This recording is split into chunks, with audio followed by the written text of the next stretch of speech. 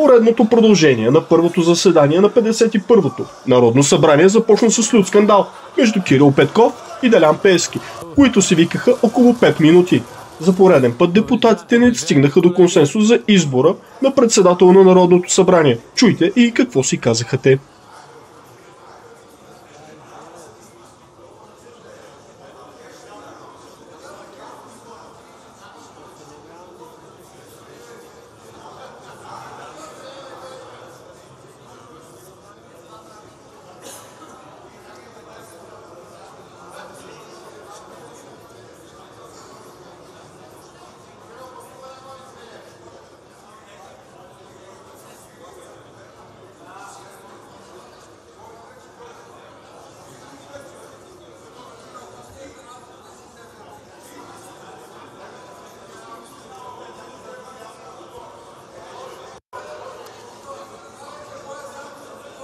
Уважаеми колеги, народни представители, добър ден!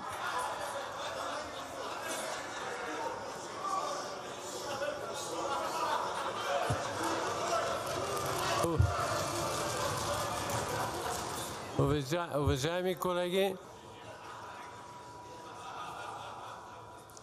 имате думата, госпожо Михайло. Уважаеми господин председател, от ВЪЗРАЖДАНЕ отново препотвърждаваме кандидатурата на адвокат Петър Петров, но използвам повода да кажа няколко думи към залата. За всички нас първо е ясно по начина, по който започва днешния ден, че изглежда, че за трети пореден път ще се повтори един и същи сценарий. От друга страна всички знаем, че избора на председател на Народното събрание е много повече от избора на една качествена личност, каквато безспорно има в повече от една от номинациите, които се правят няколко поредни пъти. Тук не става въпрос дори толкова за личността и възможностите на човека, който трябва да изберем, а за абсолютно политическата заявка какво от тук нататък ние искаме да направим с този парламент и с държавата си. Тези избори бяха безпредседентно обсъждани в публичното пространство като избори, на които стана напълно ясно, че имаше изключително много купен и манипулиран вод.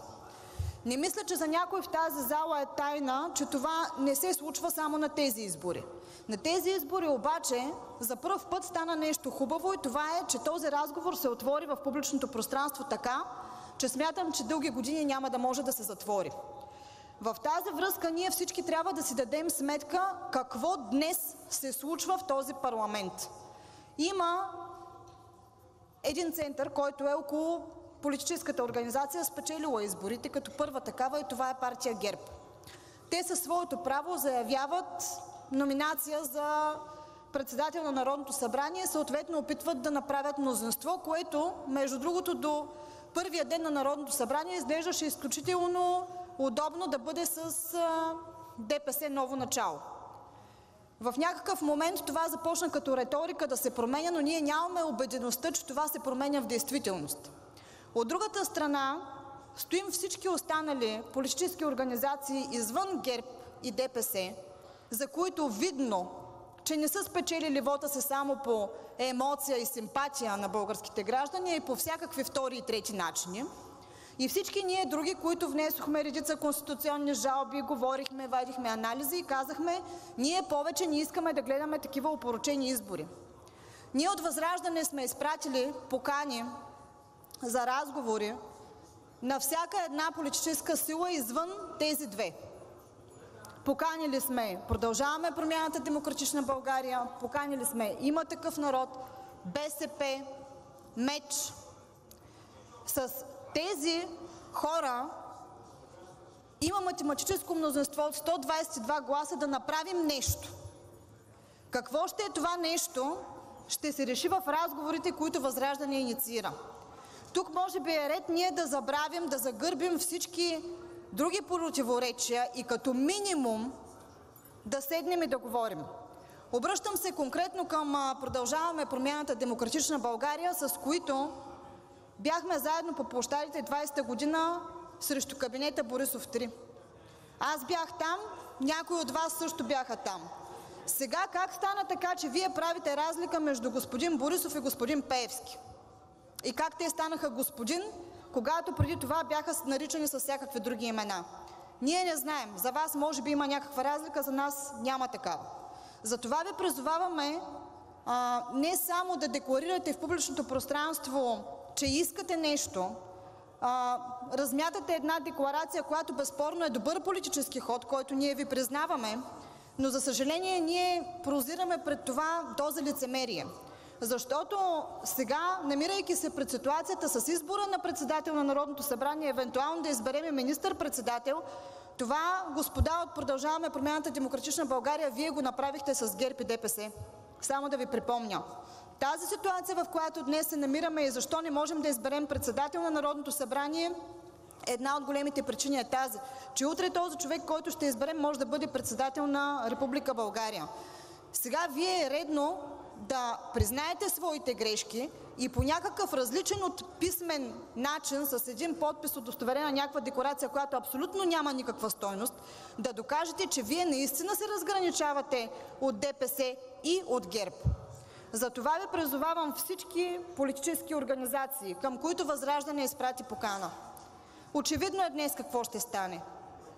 Да застанем на масата на преговорите и да видим как да направим минимум така, че да не повторим следващи избори, в които да има между 400 и 500 хиляди купени и продадени гласове, които осигуряват едно огромно мнозинство, нелегитимно да съставя каквото и да било правителство за Република България. Благодаря. Благодаря ви, госпожо Михайлова. Други? Господин Йорданов, заповядайте. Извинявам се. Това е за председател, не е за репетитор. Това не е дебат. Благодаря, господин председател. Плюс това, това не е дебат. Сега, има такъв народ, ви казахме, че така ще стане и то така и става, защото всяка политическа партия си предлага нейн кандидат, тъй като няма никаква договорка между нас за нищо. Ясно е, че ако има избран председател на Народното събрание от някоя политическа партия с мнозинство, това ще означава, че ще има и правителство. Но в момента сме в ситуацията, в която просто висиме като жалки хорица в една зала, карат се помежду си, хората отвънка ни псуват абсолютно основателно всичките. Имало е такива ситуации в българския парламент съвсем наскоро. Всички знаете какъв е изхода. То е временно да изберем за председател този, който така не че председателства в момента, защото е най-възрастният и по право председателства. Не случайно се слага най-възрастния, защото той има най-голям житейски опит. Това е идеята. А не както някои колеги твърдяха, че е нямало смисъл или нямало идея в това да е най-възрастния. Така че ние от има такъв народ в момента ще смениме кандидатурата на доцент Николета Козманова, просто защото го заявихме и това е варианта, в който всички ние да излезем от тая патова ситуация. Сега официално ще предложа доцент Силви Кирилов и се обръщам към вас с глагол, който в тази зала май не съм използвал. Моля ви да проявите здрав разум. Всички разговори след това ще бъдат отворени по всякакви теми между всички нас, но няма да изглеждаме като неспособни, изкупени хора в едно скупено Народно събрание. И така има такъв народ, предлага доцент Силви Кирилов, доктор на медицинските науки. Кратичко ще кажа нещо за него, въпреки че всички го знаете, всички сте работили с него, никой не може да каже срещу него една лоша дума. Доцент Силви Кирилов завършва Медицинския университет в София, специалност урология, магистър е по економика със специалност здравен менеджмент, бил е изпълнителен директор на университетска болница Александровска, МБАЛ Доверие, МБАЛ Уни Хоспитал, бил е и директор на изпълнителната агенция по трансплантации. Той е прекрасен професионалист. Част от вас се увериха, че и човек, който има собствено мнение, който отстоява и не се поддава на натиск. Част от вас знаят точно за какво говоря.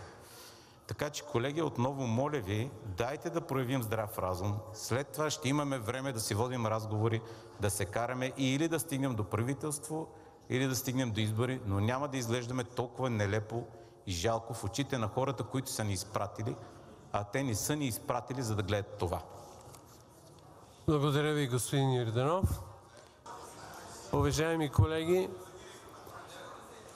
в проведеното гласуване в два тура нямаме избран